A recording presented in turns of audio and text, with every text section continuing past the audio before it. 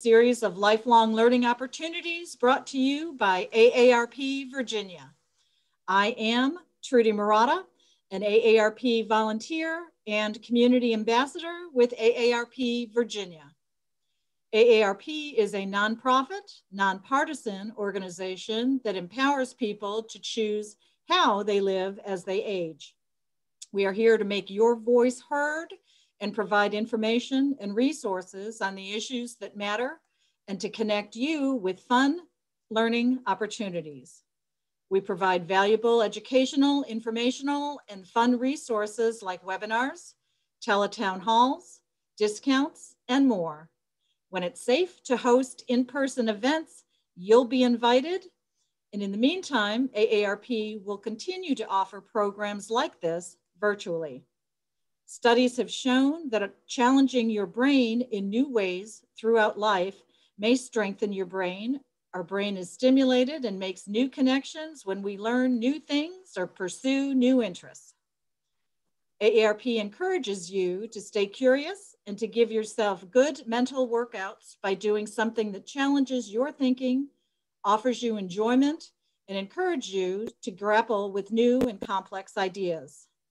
While this program may not be sufficiently rigorous to define as cognitive stimulus activity, it's important to note that it's never too late to seek out new activities that challenge you and the way you think. So we applaud you and thank you for joining us today. Before we get started on today's program, I do have just a few housekeeping items to review with you. We hope to have time for questions and answers at the end of Bonnie's presentations, so please submit your comments and questions in the chat box. And if you are trying to multitask or moving around, we ask that you turn your camera off and stay muted during the presentation. And now, on to today's program. It is my pleasure to introduce and welcome our speaker, Bonnie Becker. Enthralled at an early age by history and geography books, Bonnie Becker has been fortunate in her adult life to travel to many places that stirred her childhood imagination. She enjoys studying up on destinations before a trip and following news from some places upon return. Beginning as a high school social studies teacher, she was with Fairfax County Public School Office of Equity and Compliance for many years, serving as the Title IX coordinator. She also taught human relations for teachers for the University of Virginia during that time. Now retired, she is teaching English for speakers of other languages to adults through the Washington English Center. Today, we are in for a real treat as Bonnie takes us on a virtual tour of the Galapagos Islands and introduces us to Lonesome George, the poster child tortoise for endangered species and many of his friends. Please give a warm virtual welcome to Bonnie. And Bonnie, the screen is now yours. Judy, thank you. Thank you very much. Thank you.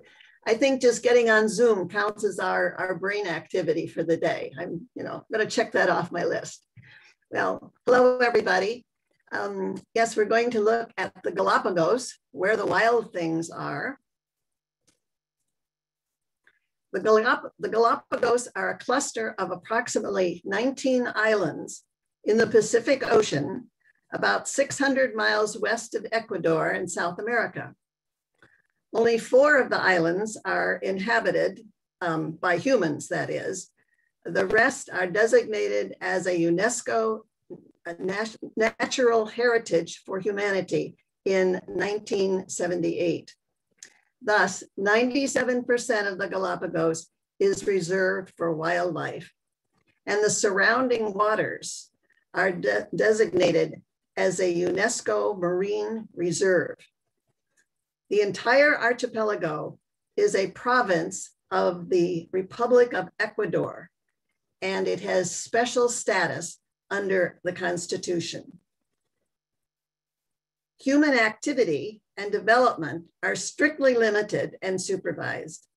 About 25,000 people live on the four inhabited islands, Santa Cruz, here, um, San Cristobal down here, Isabella is here, and Floriana down there. The equator from which Ecuador takes its name cuts through the top of Isabella Island.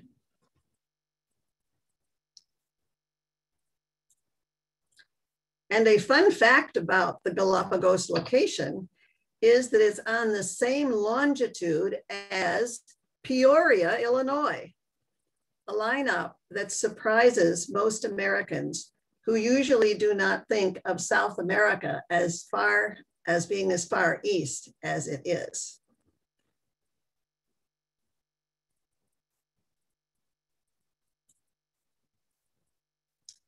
Although we associate the Galapagos with evolution as applied to animals, the islands themselves have been evolving over millions of years.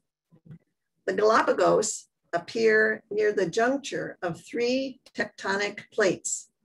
The small Cocos plate, it's up here, the huge Pacific plate over here, and the Nazca plate on which the Galapagos are actually located. And all three of these plates are inexorably moving in different directions.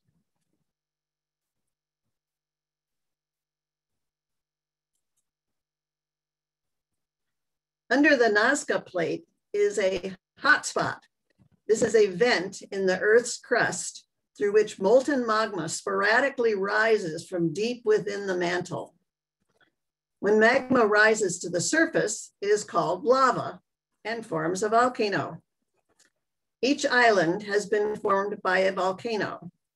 In the case of Isabella, there are five of them altogether.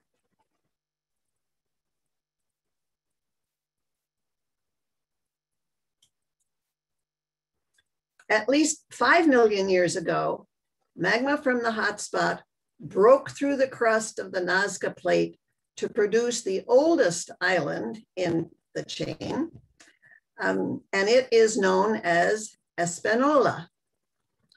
Over the eons,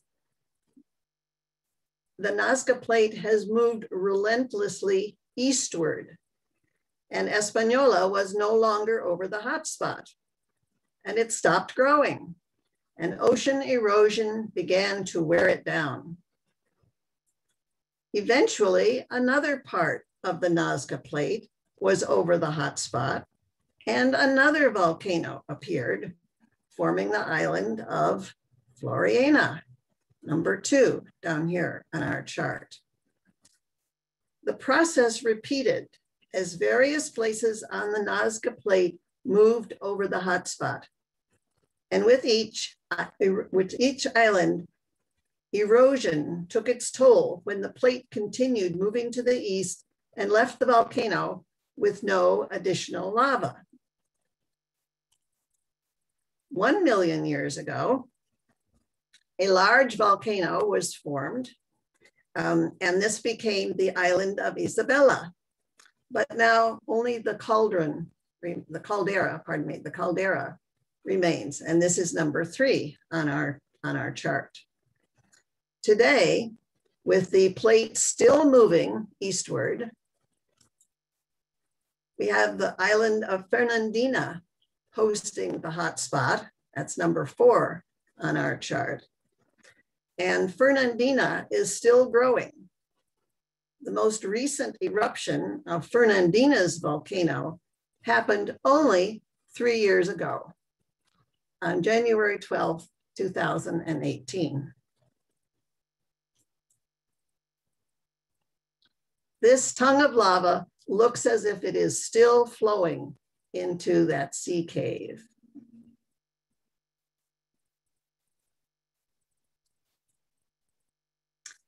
In addition to the three tectonic plates, the Galapagos Islands are influenced by several ocean currents.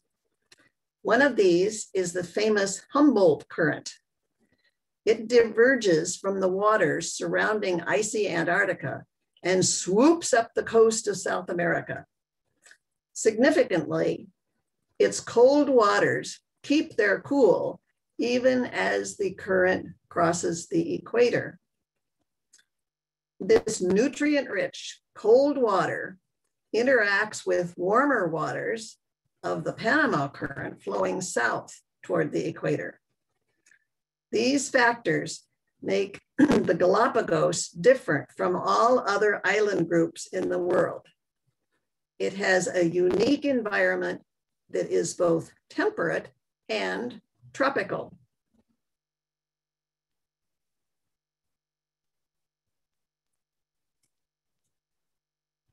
But originally, this Eden was just solidified lava, completely devoid of plant and animal life. There are two natural ways for animals and plants to make their way to remote islands. One is by air in the form of flying or being blown by the wind, and the other is by sea, swimming or floating, or sometimes riding rafts of tangled vegetation. And here we can see a little seabird, a little seabird perched on a, just a little piece, little ledge of lava that is um, sticking out of a cliff along the, the ocean.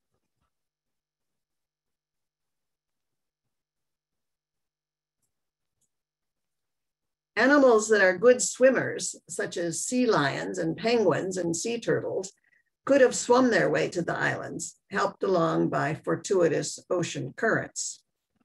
Animal experts speculate that reptiles like the tortoise may have been carried on rafts of vegetation because they are physically able to survive the sun and salt of weeks at sea. Salt resistant seeds could have ridden the waves, and some seeds may have hitched a ride on the feet and the feathers of seabirds. The seabirds, of course, came by air, but land species of birds from the mainland would not have been able to fly that far. Plants with plumed seeds could easily have been brought on the wind, including members of the familiar dandelion family. There are no native plants with big showy flowers because such plants usually require an insect or a bird as its pollinator. And the possibility of such flowers and their necessary pollinators arriving at the same time was very slim.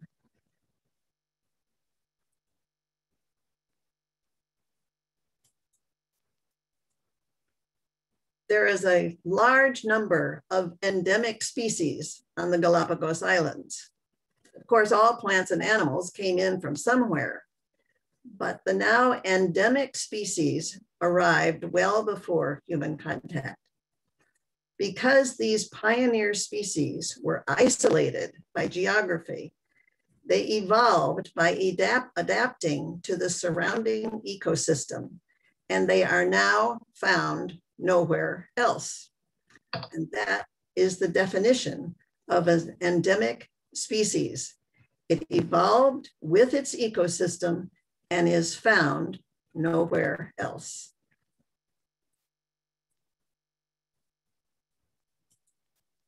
In contrast, a species is said to be native to an area when it occurs there naturally. But if it is found in other locations too, it is only native, not endemic. For example, oak trees may grow naturally in Illinois, but that is not the only place where oak trees grow. So they are native to Illinois, but not endemic. Endemic means nowhere else.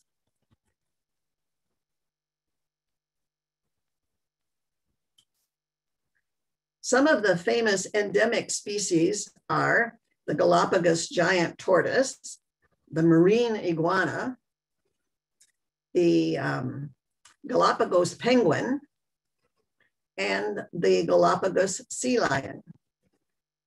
There are about 57 there are about 57 species of animals on the Galapagos Islands, and 27 of them are found only in the Galapagos and some only on one island.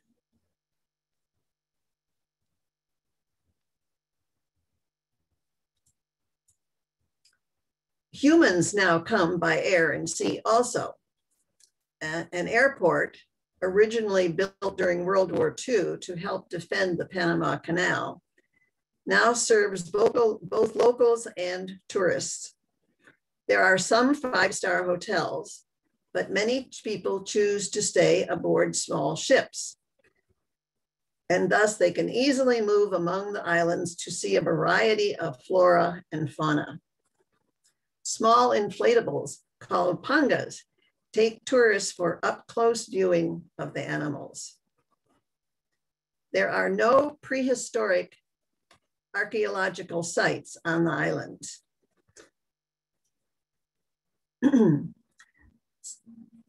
Some scholars speculate that Indians from South America may have at some time been present on the island.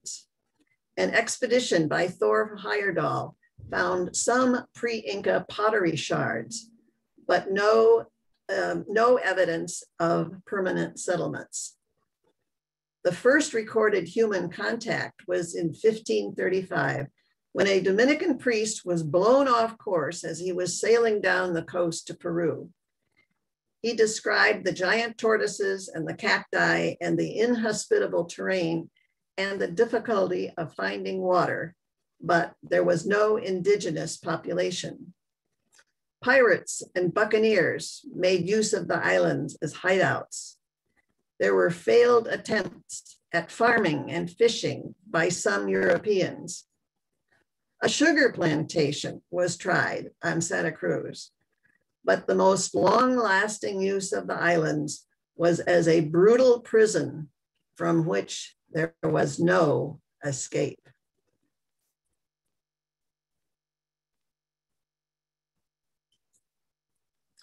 So, why are these desolate, dry islands, hundreds of miles out in the ocean, mostly uninhabited until the early 1800s, now world famous and the dream destination of some 150,000 tourists every year?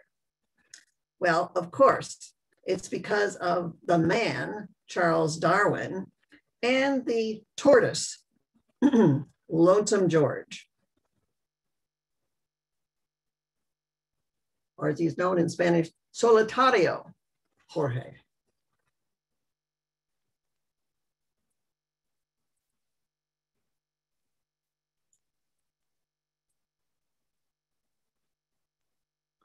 We all know about Charles Darwin from his association with the theory of evolution. Darwin began with a lucky first job out of college as the naturalist on a multi-year round the world voyage on a British naval ship called the Beagle. Its mission was to survey coastal South America.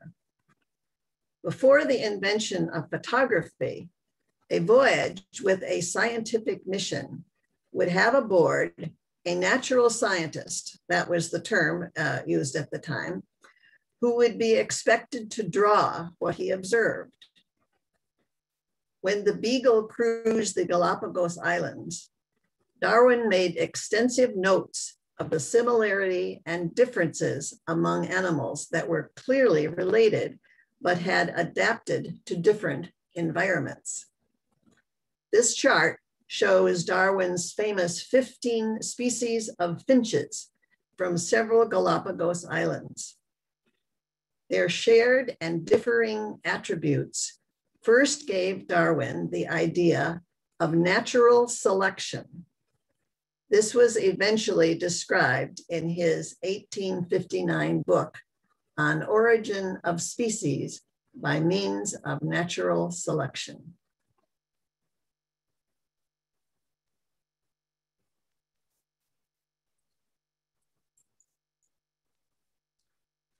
Scientific thinking in Darwin's day had begun to consider the idea of evolution. He was not the first to think of the idea, but what was missing at that time was a mechanism by which evolution could occur. Darwin's insight, his original contribution to science, was that small differences occur naturally from one generation to another. When these changes are beneficial, they are passed on to offspring. The process over time leads to development of distinct species. The Galapagos giant tortoises show this speciation. The shell of a saddleback tortoise on the right developed so that the animal could stretch its neck and reach its food source, which was up high. The favorite food for the tortoise on the left was down on the ground. So its shell had a much different shape from the saddleback.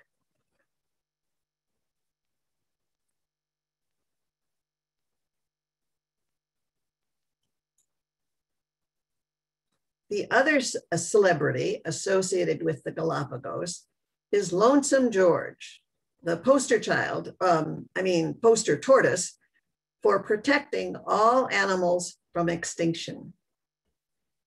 To the many whaling ships in the 17 and 1800s, the, Gal the Galapagos Islands had few resources of any value and hardly any fresh water. But the ship crews discovered that they could keep captured tortoises on board as a source of fresh meat. The tortoises could survive for many months with barely any food or water. Huge numbers of tortoises were taken from the islands for such purposes. But not only did the visiting ships take the tortoises, they also left rats. Later, other humans brought goats and dogs to the islands, and the rats de devoured the tortoise eggs, the dogs became feral, and the goats overgrazed what vegetation existed. Tortoise populations plummeted.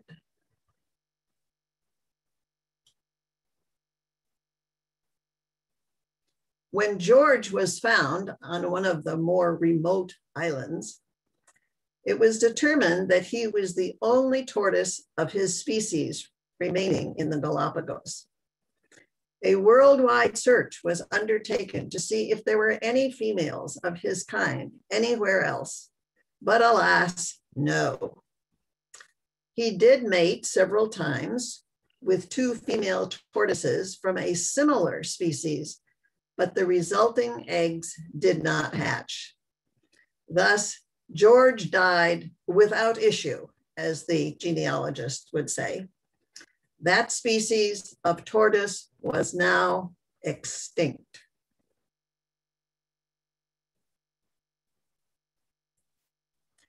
A custody battle erupted over his taxidermied remains.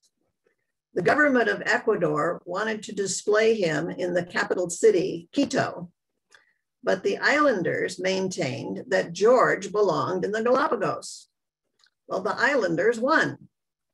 Today, George resides in his own special, oops, I think we're one step ahead of ourselves here. There we are. George resides in his own special humidity and light controlled facility. It reminds one of a chapel holding the remains of a local saint. The number of visitors is limited, as in the time inside. Photography is allowed, but I recall that people spoke in hushed voices.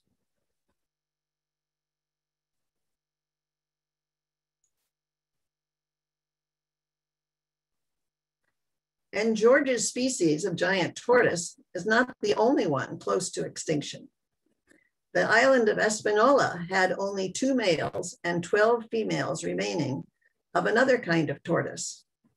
Fortunately, a tortoise of that species had been given to the San Diego Zoo years before and was identified for repatriation. Diego, as he was named, turned out to be just the right guy for the job. There are now some 2,000 of his kind of tortoise, and estimates are that Diego is responsible for at least 40% of the increase. The breeding program has ended, and just in June of last year, 2020, Diego was released into the wild. His exact age is not known, but giant tortoises can live a hundred years or more. Who knows what he will do on his own?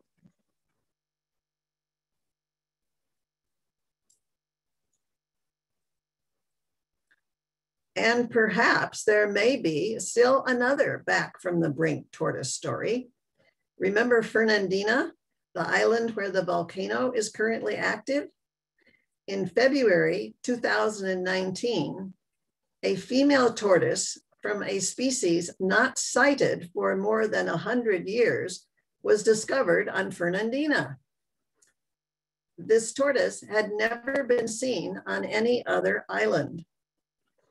Efforts were underway to find and assess the population, if indeed one still exists.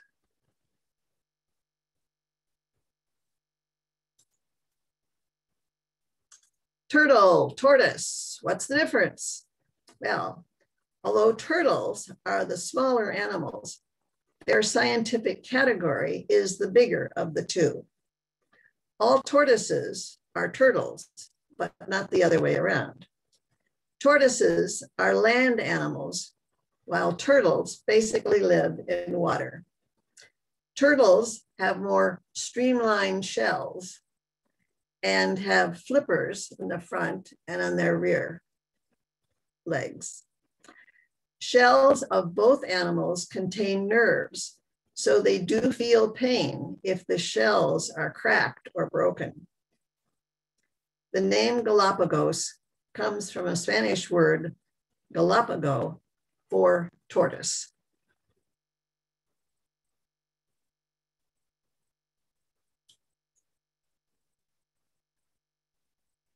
Well, like the African countries touting their big five, the Galapagos Islands proudly point to their big 15. So we have the Galapagos albatross, the blue footed booby, the beautiful white Nazca booby, the red footed boobies, the flightless cormorant, and you can see that the wings of the cormorant have changed over the course of time. And now these wings would never support flight. So that's why it's the flightless cormorant. Here is the American flamingo and frigate birds. We also have the Galapagos hawk, the land iguana, the marine iguana, the Santa Fe iguana, Galapagos penguin, the Galapagos um, sea lion, Galapagos fur seal, and of course, the tortoise. Interestingly, Darwin's famous finches are not among, among the big 15.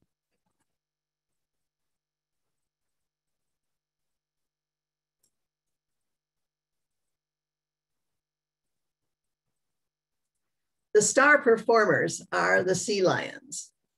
The difference between sea lions and seals is that the seals are smaller and they have a luxurious fur coat. And because of that, they were hunted almost to extinction at, at one point. The sea lions are bigger and they have larger ear flaps and they bark.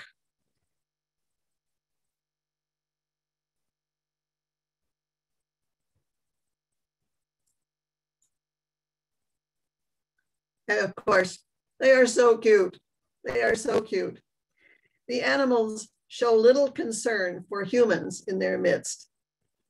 Of course, the national park rules strictly instruct humans to stay six feet away from the animals. They were social distancing long before its current meaning.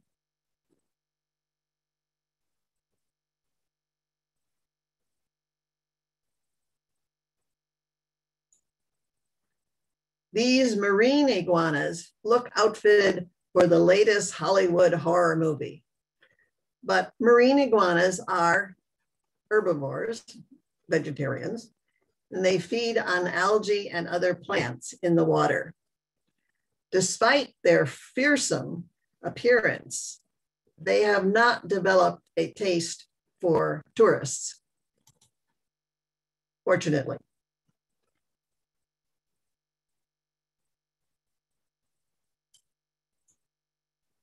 but you still want to watch where you take a knee. Marine iguanas can move 20 miles an hour. This is my son, Jeff, who was my traveling companion when I visited the Galapagos. When I saw him with his knee on that rock, I was petrified.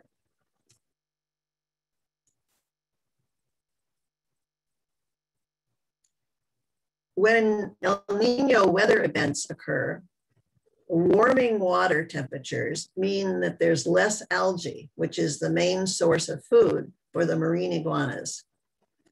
Scientists who noticed that the animals seemed smaller at such times believe that the reptiles may reabsorb parts of their skeleton in order to decrease their size and thus increase their chances of survival when food supplies run very low.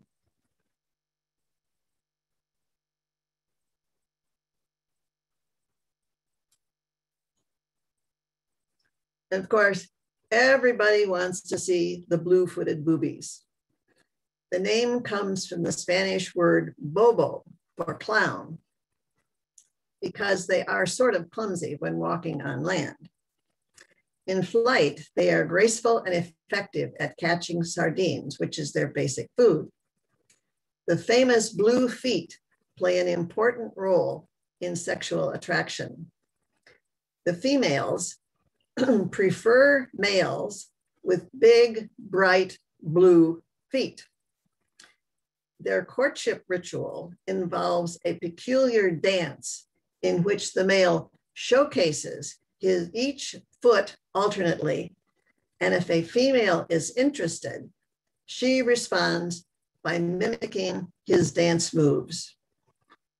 We humans tend to think that clothes make the man, but clearly blue suede shoes make the booby.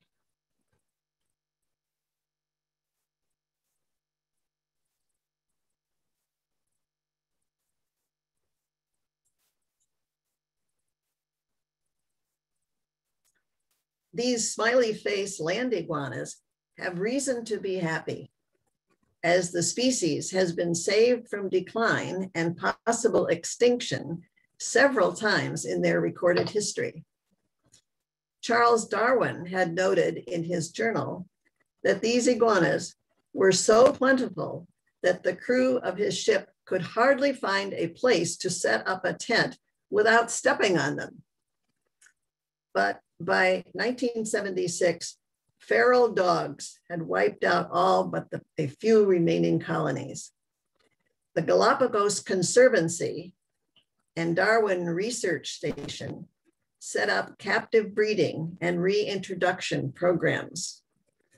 Currently, the land iguanas um, are no longer listed as endangered. They are merely vulnerable I love the way their skin gives the appearance that they are wearing a neckerchief and a hood and even a tunic with nice long loose sleeves.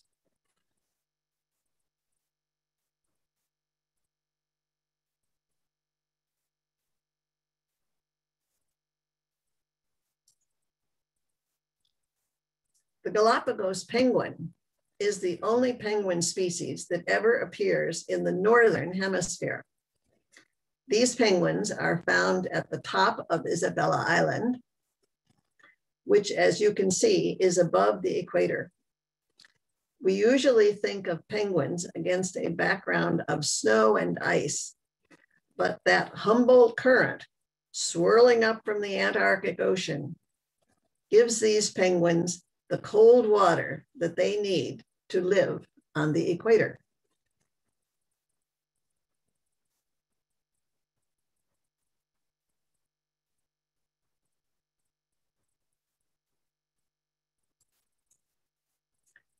There are other things that one finds only in the Galapagos. Divers are quick to brag when they have been swimming with the marine iguanas. Mary, remember those scary black movie monsters? The iguanas can hold their breath for up to 30 minutes with no scuba equipment needed. And this park ranger is giving a lecture on iguana poop. When I travel, I think about photos that will educate, or in the case of iguana poop, entertain my middle school grandsons. It's always good to know your audience. And here is the world's most unusual post office. When sailors in the 1700s stopped at the Galapagos, probably to capture those tortoises we spoke about before, they all knew about a special barrel on Floreana Island.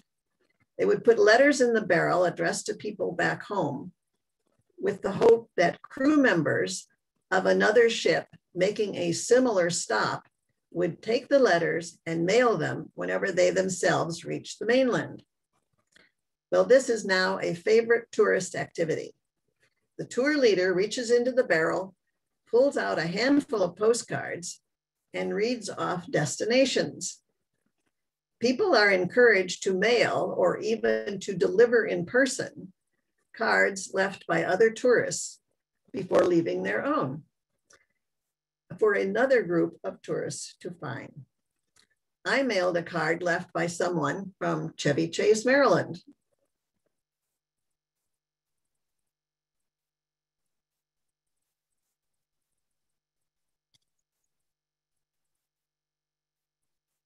the Galapagos are an evolution laboratory for plants as well as animals. About 35% of the plants there are endemic to the Galapagos. They adapted to several different habitat zones based on altitude and growing conditions. The passion flower is the official flower of the islands and it has medical uh, properties. Three familiar cactuses are the lava cactus and the, excuse me, candelabra cactus and the prickly pear cactus. The candelabras can reach as tall as a tree.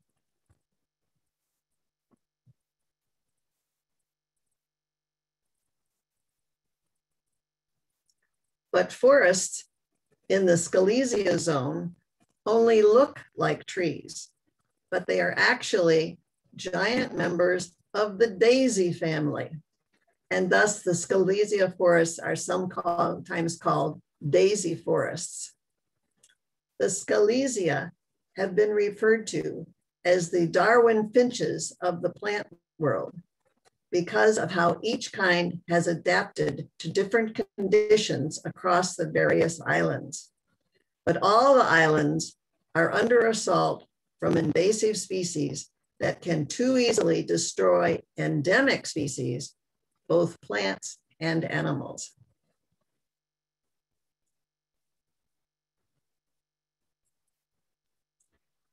Fortunately, several conservation organizations fight the never ending battle to protect the endemic animals and plants.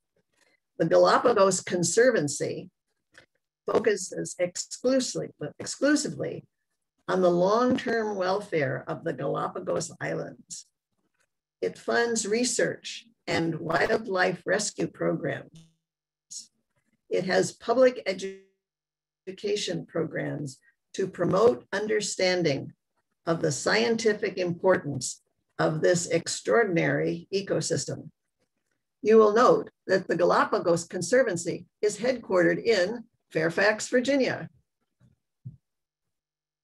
The Charles Darwin Foundation has similar objectives, but also works with international organizations. And both of them rely on donations from viewers like you, as they say on PBS.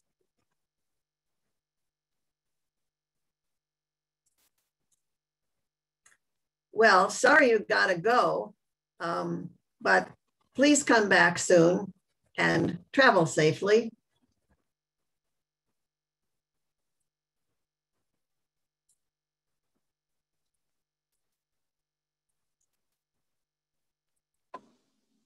The end.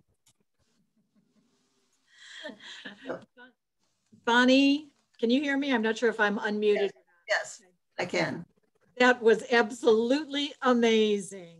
Oh, I'm so glad you liked it. Thank you so much. I am looking in the chat box now to see if we have any questions for you. Um, okay.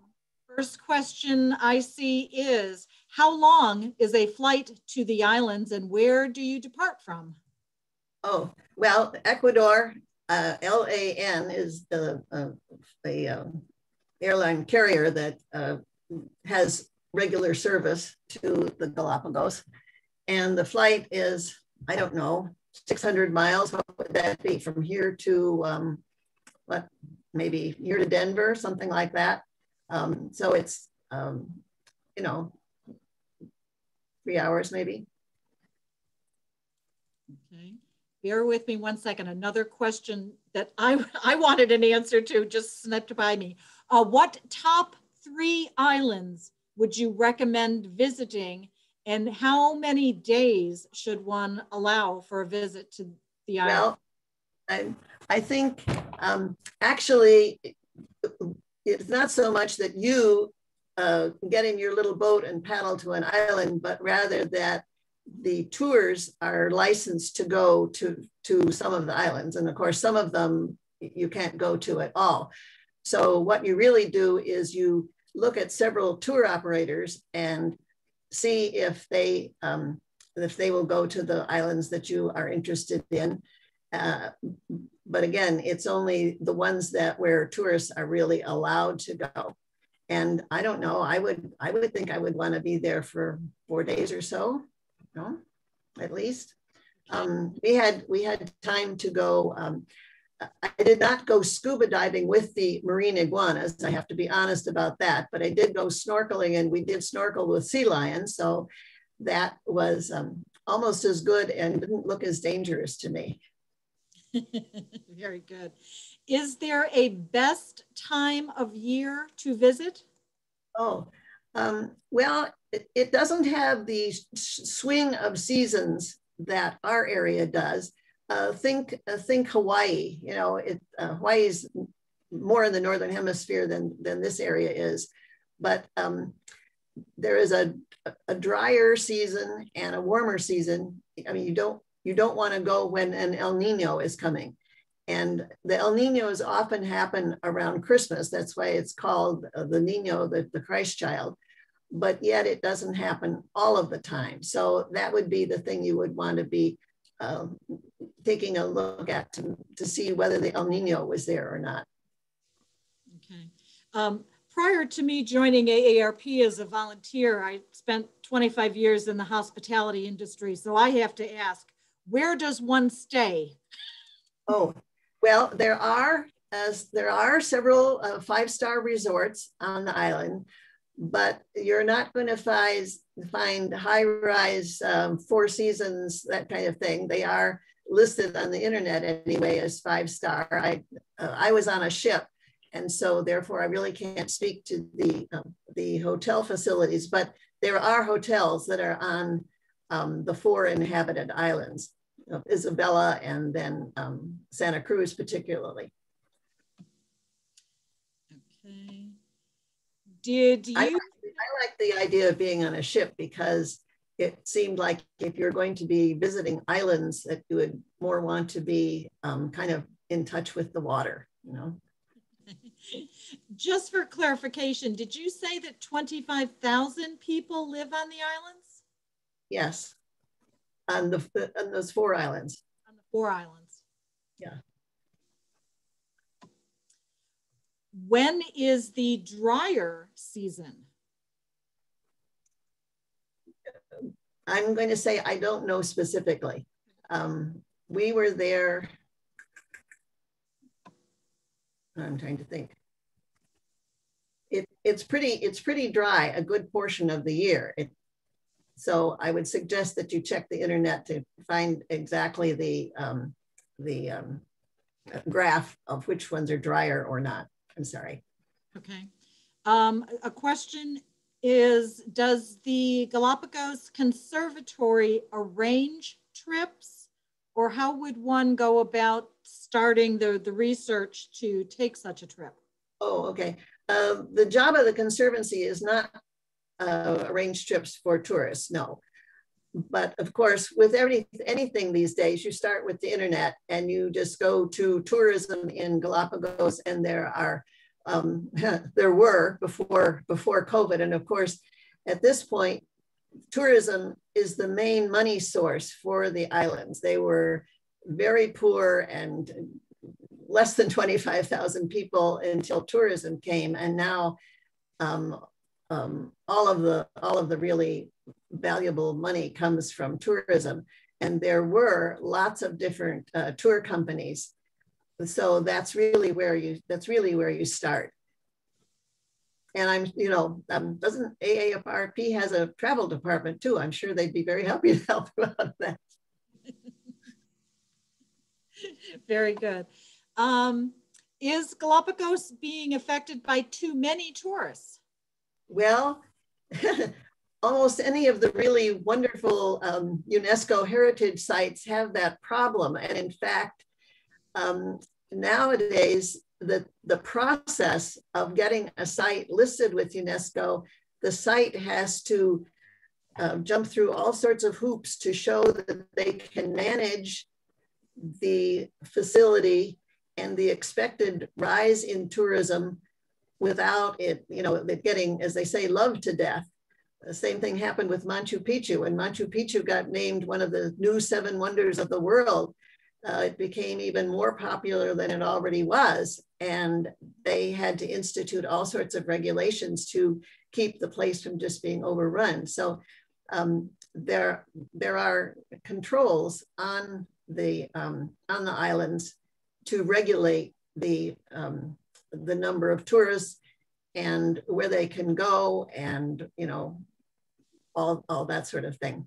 Our ship was extremely eco-conscious and they had just forbidden plastic everything. And um, they were eliminating as much paper as possible and so forth. So um, many, many people, many organizations that, that I've been aware of are really getting extremely eco-conscious when it comes to the impact of tourists on the areas that they are trying to showcase.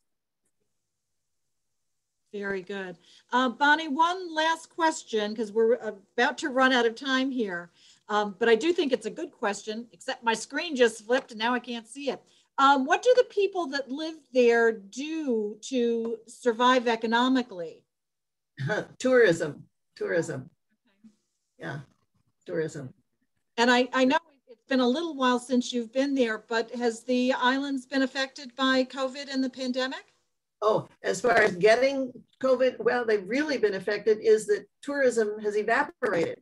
And so you had basically, you know, like 80% of the economy based on tourism. And then when nobody can go there anymore, that's a, a, a really big hit. So. Okay, very good.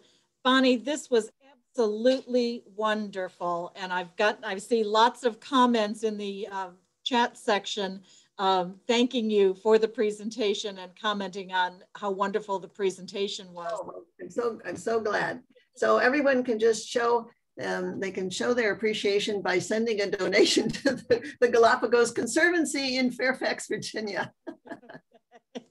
we will in joke for all of the people who are who are living in Northern Virginia, not the you know people out in Santa Monica, California, or wherever they were from. Okay, very good. On behalf of AARP Virginia, I would like to thank our guest speaker, Bonnie Becker, for sharing her valuable time and knowledge with us this afternoon. We would love to get your feedback on today's program for ideas for future programs. In the chat box, you will see a link to a survey. Please click on the link and take a few moments to share your feedback with us. We will also include this link in a follow-up email to you later today. We hope to see you all back here in two weeks for our next program on Tuesday Explorers.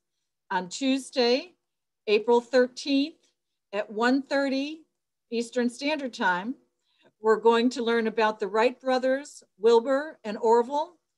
Why did they go to Kitty Hawk, North Carolina to try their first flight? Don't forget, there's a link to RSVP in the chat box. Until then, stay safe, stay curious, keep exploring, and thank you all for joining us today. Bonnie, thank you again. You're welcome. Thank you for asking me.